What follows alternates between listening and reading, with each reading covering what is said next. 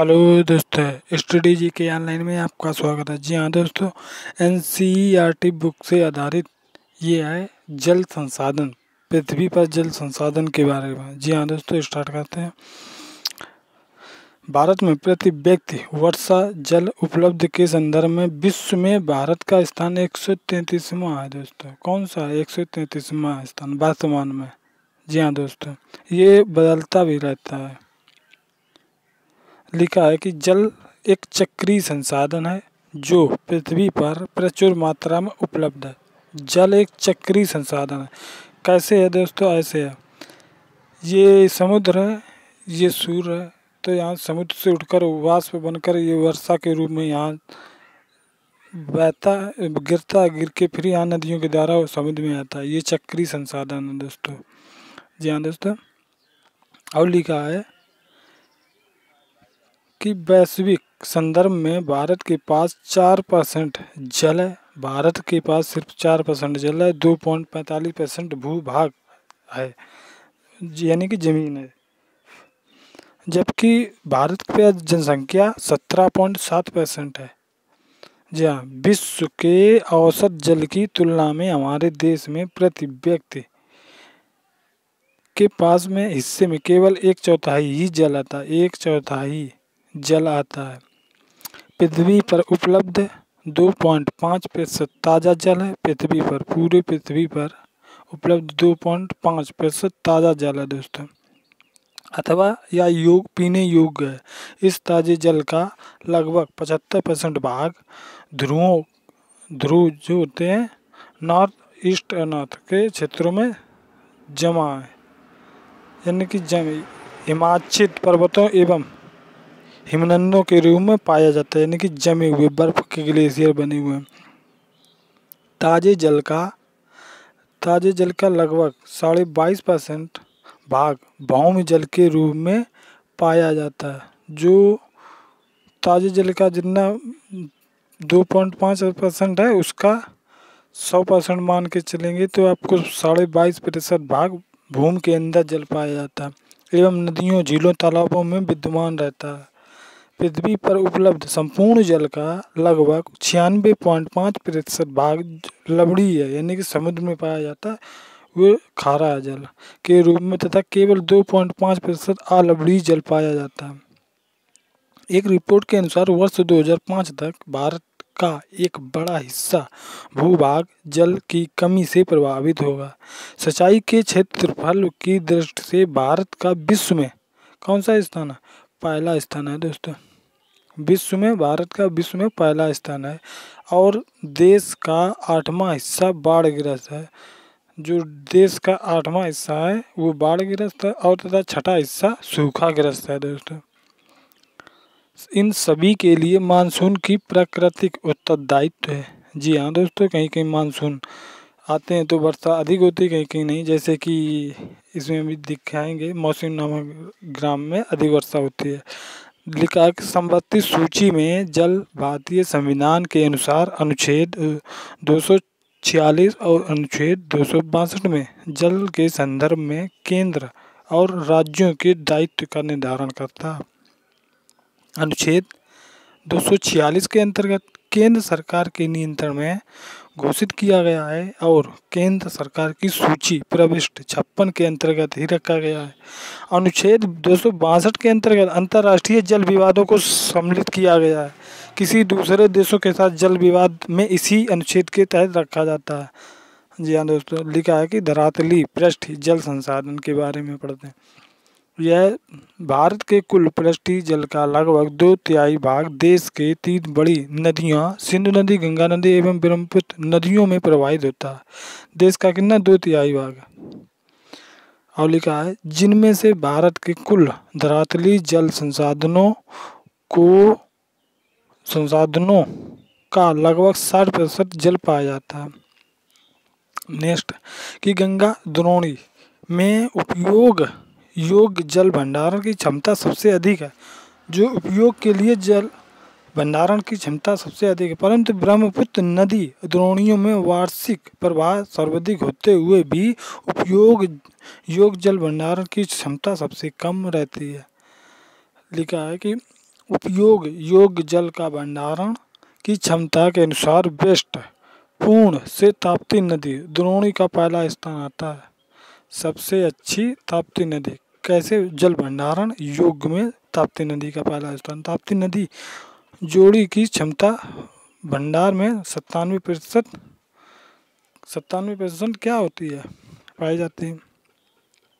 पुनर्भरण योग्य जल संसाधन में उत्तर प्रदेश सबसे संपन्न राज्य है। पुनर्भरण योग्य में जल संसाधन में उत्तर प्रदेश सबसे संपन्न राज्य माना जाता है।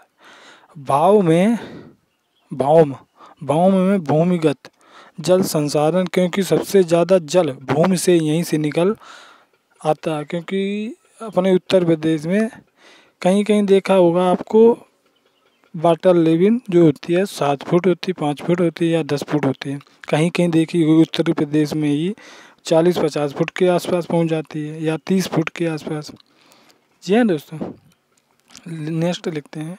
कि जल की मांग और उपयोग के अनुसार धरातली और तालाब नदी जल का सर्वाधिक उपयोग कृषि में होता है, जिसमें धरातली जल का 89 प्रतिशत भाग और भौम जल में भौम में जल का 92 प्रतिशत भाग उपयोग किया जाता है। लिखा औद्योगिक क्षेत्र में धरातली जल का केवल दो प्रतिशत और भौम जल का पाँच प्रतिशत भाग ही उपयोग में लाया जाता। है पंजाब, हरियाणा, राजस्थान, तमिलनाडु, गुजरात और उत्तर प्रदेश में भूमिगत जल का उपयोग बड़े पैमाने पर किया जाता। है स्वीडन के एक विशेषज्ञ फाल्क मार्क के अनुसार, एक वैज्ञानिक है, जल वाले, फाल्क मार्क के अनुसार जल की कमी तब होती है जब प्रत्येक व्यक्ति को प्रति वर्ष एक हज़ार से सोलह सौ घन मीटर के बीच में जल उपलब्ध नहीं होता। है इक्कीसवीं सदी शहरीकरण तथा औद्योगिकरण का युग है। वर्तमान समय में भारत में कुल विद्युत का लगभग 22 प्रतिशत भाग जल विद्युत से ही प्राप्त होता है। भारत में बड़ी, चौदह बड़ी सामान्य, पंद्रह सामान्य और सात सौ छोटी नदियाँ पाई जाती हैं। भारत में सबसे ज़्यादा नदियाँ पाई जाती हैं।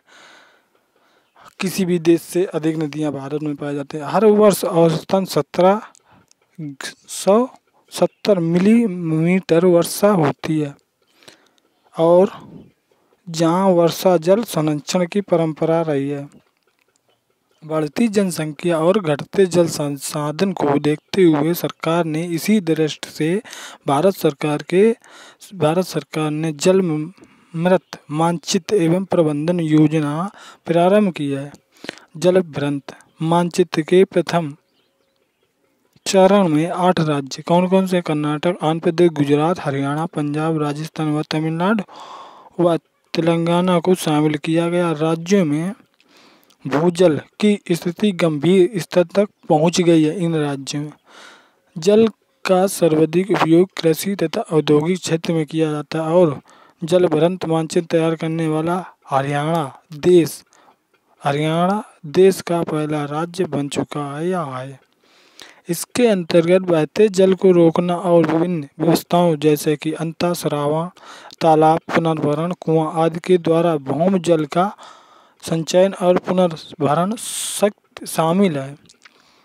महाराष्ट्र के अहमदाबाद नगर ज़िले में रागेड़ सिद्दीकी का एक छोटा सा गाँव है, जहाँ पूरे भारत में जल संभर विकास का एक उदाहरण माना जाता है। नीरू मीरू, जो जल आ और आप कार्यक्रम जो आंध्र प्रदेश में शुरू किया गया था, और आलमारी जल संसाधन, अलवर, राजस्थान के अंतर्गत लोगों को सहयोग से विभिन्न जल संसाधन संग्रह संरचनाएँ हैं जैसे कि अंता श्रावण तालाब जोहड़ की खुदाई की गई तथा रोधक बाँध बनाए गए। तमिलनाडु में घरों में जल संग्रहण संरचना को बनाया बनाना ब, बनाया आवश्यक कर दिया बनाना आवश्यक कर दिया गया। प्राचीन भारत में उत्कृष्ट जली निर्माणों के साथ साथ जल संग्रहण ढांचे भी बनाए जाते हैं। लोगों को वर्षा पद्धति और मृदा के गुणों के बारे में गहरा ज्ञान था। भौम, जल, नदी, जल, बाढ़, जल संग्रहण के अनेक तरीके विकसित कर लिए गए थे। पश्चिम, पश्चिमी भारत, विशेषकर राजस्थान में पीने का जल एकत्रित करने के लिए छत वर्षा जल का संग्रहण का तरीका आम था। पश्चिम बंगाल में बाढ़ के मैदानों में लोग अपने खेतों की सिंचाई के लिए बाढ़, जल वाहिकाएँ बनाते थे। खेतों में वर्षा, जल संग एकत्रित करने के लिए गड्ढे बनाए जाते थे तथा राजस्थान के जैसलमेर ज़िले में खाद्यान्न एवं अन्य क्षेत्रों में जोड़ इसके उदाहरण जल, यानी कि वर्षा जल प्राकृतिक जल का शुद्धतम रूप समझा जाता है या माना जाता है। मेघालय की राजधानी शिलांग है, जो शिलांग में छत, वर्षा, जल संग्रहण प्रचलित है। यह रोचक इसलिए क्योंकि चेरापूंजी और मौसम राम गाँव, जहाँ विश्व का सबसे अधिक वर्षा वाला गाँव है, शिलांग से 55 किलोमीटर की दूरी पर स्थित है। यहाँ यहाँ शायद पीने के पानी की गंभीर समस्या का सामना करता है। घरेलू जल संसाधन आवश्यकता की कुल मांग की लगभग पंद्रह से पच्चीस प्रतिशत जल संसाधन संग्रहण व्यवस्था से ही होता है। कर्नाटक के मैसूर ज़िले में स्थित गंडाथुर गाँव में ग्रामीणों ने अपने घर में जल आवश्यकता की पूर्ति के लिए छत, वर्षा जल संग्रहण की व्यवस्था की है। गाँव के लगभग 200 घरों में यह व्यवस्था है तथा इसी, इस गाँव में वर्षा जल संकट संपन्न गाँव की ख्वाहिश अर्जित की है। वर्षा जल संग्रहण की, जल की उपलब्धता को बढ़ाता है और भूमिगत जल स्तर को नीचे जाने से रोकता है। कैसे रोकता है? क्योंकि आप जल, वर्षा वाला यानी कि छत छत वाला पानी आप यूज़ करेंगे तो वो नीचे से जो आप पानी यूज़ करेंगे, उसका स्तर कम ही होगा तो कम के मारे आपका जल स्तर ऊपर आ जाएगा। यह फ्लोराइड और नाइट्रेट जैसे प्रदूषकों को कम करके भूमिगत जल की गुणवत्ता बढ़ाकर मृदा अपवर्धन और बाढ़ को रोकने से काम आता है। जल, मंदिर, सीढ़ी या सीढ़ीदार कुएँ ऐसी भूमि की संरचना है जो केवल भारत में पाई जाती है। यह भारत के शुष्क क्षेत्र में काफ़ी लोकप्रिय रही है। जिसका उपयोग जल संग्रहण एवं पीने योग, पीने के जल की लगातार उपलब्धता के लिए जाना जाता है। उदाहरण के लिए अहमदाबाद अहमदाबाद के पास अडाल ज बाब जिसमें छह मंजिल है, यह एक मंदिर है, जो एक कुएँ पर जाकर समाप्त होता है। इनकी मंदिर नुमा संरचना एवं जल उपलब्धता की महत्व को ध्यान रखते हुए इन्हें जल मंदिर भी कहा जाता है। टैंकों को इरिस भी कहते हैं। इरिस भारत में जल प्रबंधन के लिए बनाए गए प्राचीनतम संरचनाओं में से एक है। दक्षिण भारत में, दक्षिण भारत में टैंक मंदिर संस्थापित से सीधे तौर पर जुड़े हैं। साथ ही टैंकों का निर्माण सिंचाई सुविधा के लिए भी किया जाता है। विश्व जल दिवस 22 मार्च को मनाया जाता है तथा 22 मार्च 2017 को सभी देशों ने वैश्विक जल संसाधन को प्रसारित करने हेतु विश्व जल दिवस मनाए। वर्ष 2019 के लिए इस विषय का किसी को विषय था, यानी कि थीम था, किसी को पीछे ना छोड़ना। 2020 का जल विषय, यानी कि थीम है जल और जलवायु परिवर्तन। इसका 2020 का क्या है? थीम है। नेक्स्ट है कि ब्राज़ील के रियो डी जेनेरियो में वर्ष दो उन्नीस में पर्यावरण और विकास के लिए संयुक्त राष्ट्र सम्मेलन द्वारा आयोजित कार्यक्रम में विश्व जल दिवस मनाने की पहल की गई थी। विश्व विकास रिपोर्ट 2018 के अनुसार आठवें विश्व मंच के दौरान 19 मार्च 2018 को ब्राजीलियाई ब्राज़ील में संयुक्त राष्ट्र विश्व विकास रिपोर्ट 2018 जारी की गई थी। भारत सरकार द्वारा 7 जून 2012 को राष्ट्रीय जल नीति वर्ष नीति 2012 संशोधित प्रारूप जारी किया गया था। जल नीति की मुख्य विशेषताएँ हैं कि जल प्राकृतिक संसाधन है। जल क्रांति अभियान की शुरुआत तीन क्षेत्रों राजस्थान के जयपुर, उत्तर प्रदेश के झांसी और हिमाचल प्रदेश के शिमला से की गई थी। जल क्रांति अभियान की शुरुआत कहाँ कहाँ की गई थी? तीन राज्यों में की गई थी। राजस्थान के जयपुर में, उत्तर प्रदेश के झांसी में, हिमाचल प्रदेश के शिमला से की गई थी। जो अपने भारत में मनाया जाता है राष्ट्रीय जल दिवस चौदह अप्रैल को मनाया जाता है। कब मनाया जाता है? चौदह अप्रैल को। केंद्रीय जल संसाधन नदी विकास एवं गंगा संरक्षण मंत्रालय ने जल संसाधन प्रबंधन के क्षेत्र में डॉक्टर भीमराव अंबेडकर के एवं के योगदान के लिए उल्लेख करते हुए घोषणा की गई कि उनके जन्मदिन पर चौदह अप्रैल को जल दिवस के रूप में मनाया जाएगा। वीडियो देखने के लिए धन्यवाद। कृपया चैनल को सब्सक्राइब ज़रूर कर लें जी हाँ दोस्तों, धन्यवाद।